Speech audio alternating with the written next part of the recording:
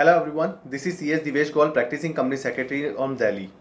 Today in this video, we are going to discuss about the latest notification of MSME that is issued by the Ministry of Small and Medium Enterprise on 26th June 2020.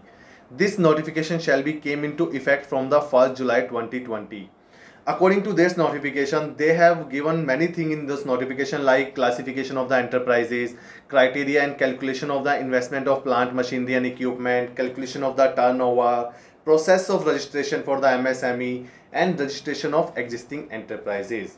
In this circular they have mentioned the registration of msme shall be called as a udyam registration. This notification shall be effective from the 1st july 2020 the most important thing which we are going to discuss about this notification re-registration of existing enterprises which are registered with MSME. If an enterprise is already registered with the MSME, according to that this circular, they have to re-register themselves with the Udyam Bazaar registration. Let me discuss how.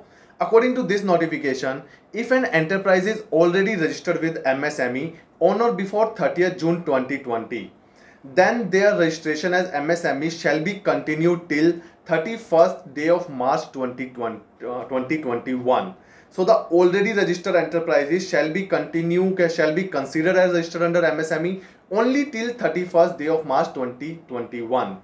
Such enterprises shall have to register themselves again with the Udyam registration any time after 1st July 2020 till 31st March 2021 if they want to continue as a status of the MSME registration according to the new definition. So now there was the earlier there was a different definition for registration under MSME now there is a different definition for registration under MSME.